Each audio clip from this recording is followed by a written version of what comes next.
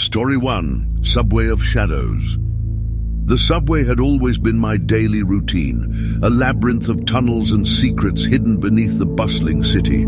I thought I knew every corner of it, every echoing scream of the trains as they tore through the darkness. But one fateful night, as the clock ticked toward midnight, I discovered that there were still horrors lurking in the subterranean depths that I had never imagined.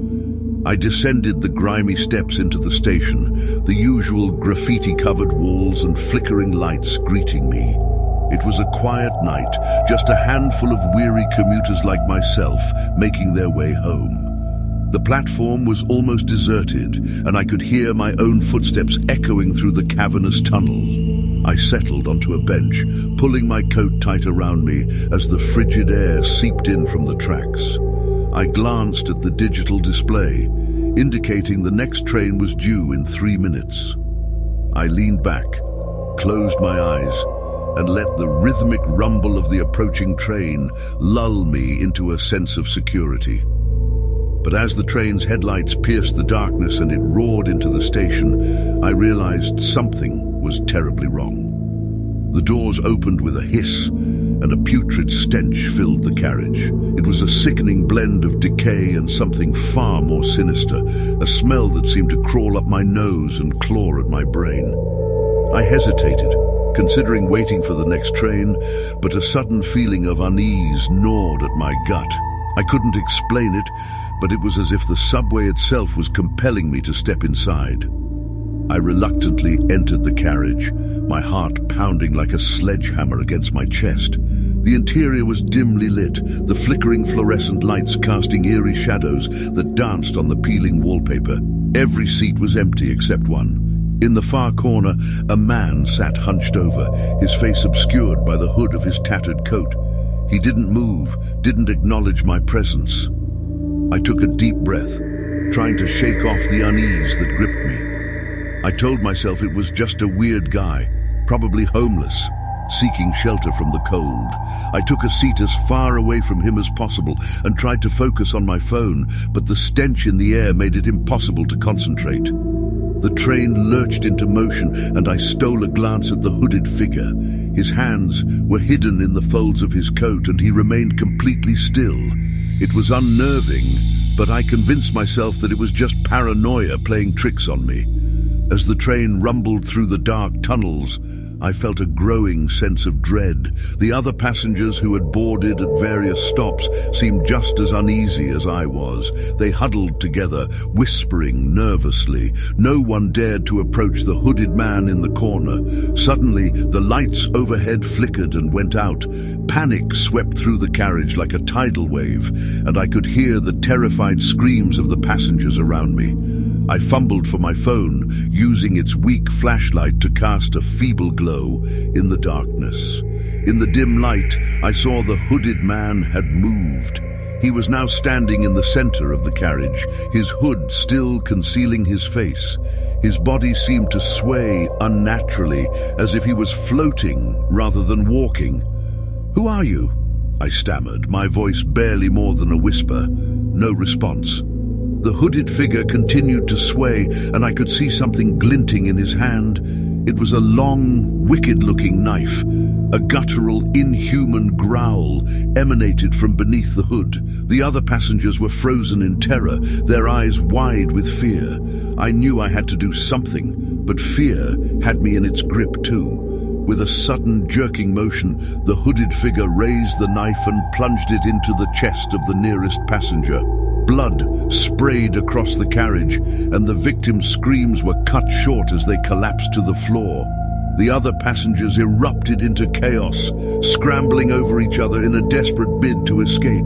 I couldn't move. I couldn't look away from the gruesome scene unfolding before me. The hooded figure moved on, slashing and stabbing with brutal precision. The screams and pleas for mercy filled the air, but they went unanswered. I finally snapped out of my paralysis and bolted towards the nearest exit, my heart pounding in my chest. But the hooded figure was faster. He lunged at me, the blade slicing through the air. I ducked just in time, feeling the rush of wind as the knife passed inches from my face. I stumbled out of the carriage, my heart racing and ran through the dark tunnel, not looking back.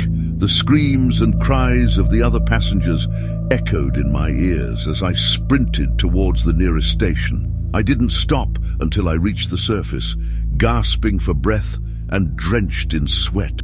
The police were called and an investigation was launched, but the hooded figure was never found. The subway resumed its normal operation as if nothing had happened. But I knew the truth. The subway had its own dark secrets, and I had unwittingly stumbled into a nightmare that still haunts my every step. To this day, I can't shake the feeling that the hooded figure is still down there, lurking in the shadows, waiting for the next unsuspecting passenger to descend into the subway's depths, never to return. Story 2. The Haunting Echoes of Abandonment. It was a chilling autumn evening when my two friends, Mike and John and I, decided to explore the infamous abandoned metro station on the outskirts of town. We had heard countless stories about the place, whispers of eerie echoes, chilling screams, and unsettling mysteries that had shrouded the station since its closure. Armed with flashlights and trembling excitement, we ventured into the unknown. The station appeared exactly as we had imagined. A hauntingly desolate place where time had stood still. Graffiti covered the decaying walls, and the only light came from our feeble beams. Dust hung in the air, and cobwebs clung to the ceiling like ancient guardians of a long-forgotten secret. We made our way down the decrepit stairs to the platform, feeling a sense of foreboding that seemed to grow with each step. The platform was empty, save for a few discarded newspapers from decades past. It was eerily silent, a silence that pressed down upon us, making it hard to breathe. As we moved deeper into the station, our flashlights occasionally caught fleeting movements in the shadows, phantom shapes that seemed to dance and disappear as quickly as they appeared.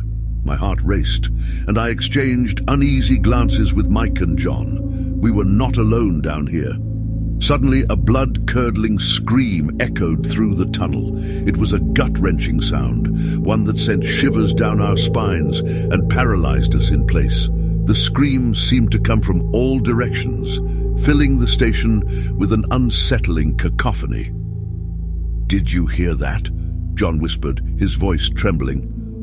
We nodded in response, unable to find words to articulate the fear that had gripped us. The darkness around us seemed to thicken, and the temperature dropped, sending a shiver through our bodies. Another scream, louder and more desperate, shattered the silence. It was unmistakably human, and it was coming from deeper within the tunnel. Our instincts screamed at us to run, but morbid curiosity held us in place. Maybe someone needs help, Mike said, his voice wavering. We exchanged one last glance, and then, as if compelled by an unseen force, we followed the source of the screams. The tunnel twisted and turned, the flickering beams of our flashlights revealing graffiti-covered walls that seemed to writhe with grotesque images. The screams grew louder, more agonizing. We reached a section of the tunnel where the walls were covered in handprints, as though people had desperately clawed at them in a futile attempt to escape. The realization hit us like a sledgehammer. This place held a dark and sinister history. The tunnel opened into a vast underground chamber, the source of the screams now deafening. In the center of the chamber stood an old, rusted subway car. Its doors were wide open, revealing an unsettling sight. Inside the subway car were rows upon rows of ghostly figures, their faces contorted in anguish. They were the souls of commuters who had met a tragic end here, trapped for all eternity. Their screams filled the chamber, an unbearable symphony of suffering. Before our horrified eyes, the figures turned toward us, their hollow eyes locking onto ours. The screams became accusing, as if they blamed us for their torment. Panic surged through me, and I turned to flee only to find the tunnel had vanished, leaving us trapped with the vengeful spirits. Desperation clawed at my chest as the ghostly figures closed in on us, their wails drowning out all reason. It was as if we had become a part of their eternal nightmare, forever bound to the abandoned metro station and its dark, unsolved mysteries. In that chilling moment, I realized the true horror of our decision to explore this forsaken place.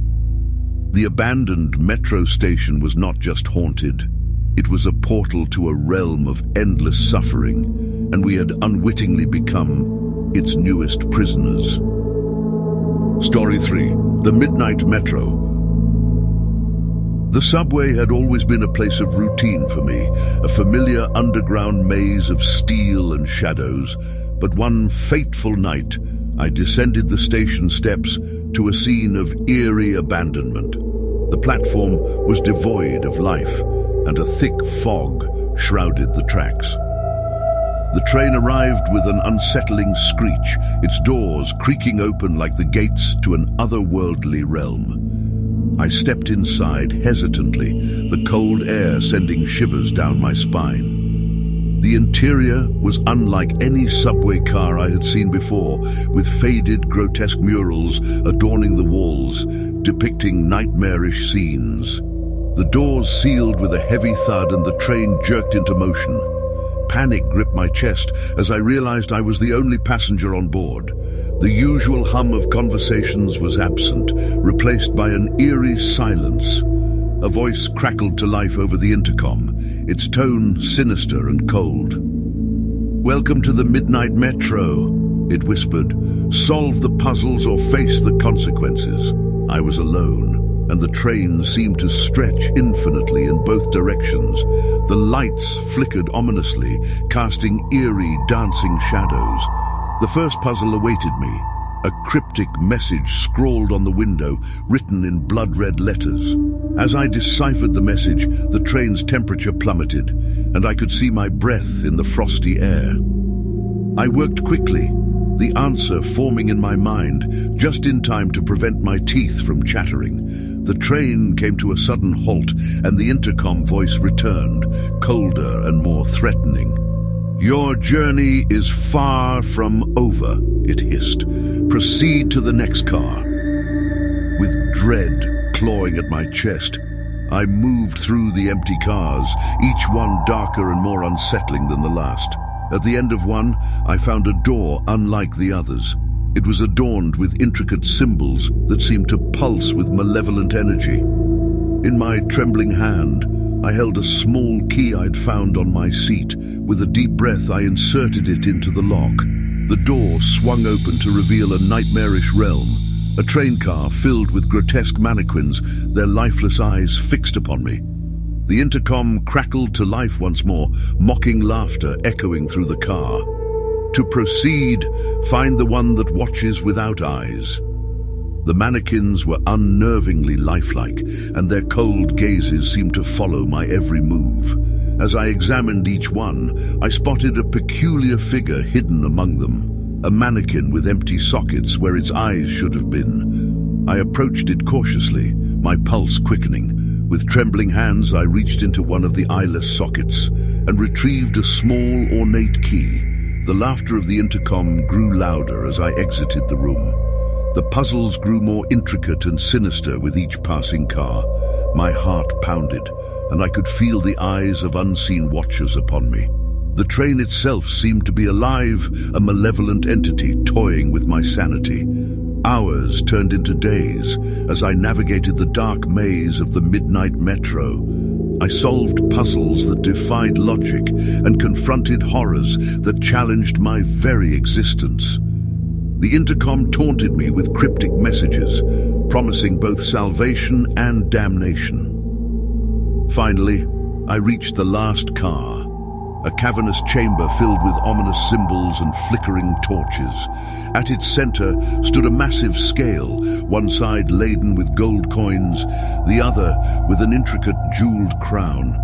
The intercom's voice returned, colder and more malicious than ever. Choose wisely, for your fate hangs in the balance. With trembling hands, I made my choice, placing the crown on the scale. The chamber trembled, and the intercom's laughter filled the air as the train came to a sudden, jarring halt. The doors opened, revealing the familiar subway station. I stumbled out, disoriented and shaken, as the train disappeared into the tunnel, leaving behind only an echoing, malevolent laughter. The midnight metro had shown me the depths of fear and despair, a place of haunted puzzles and dark mysteries that no one should ever experience. To this day, I wonder if it was a nightmare or a twisted reality, a place where the boundary between life and death blurred into a never-ending nightmare.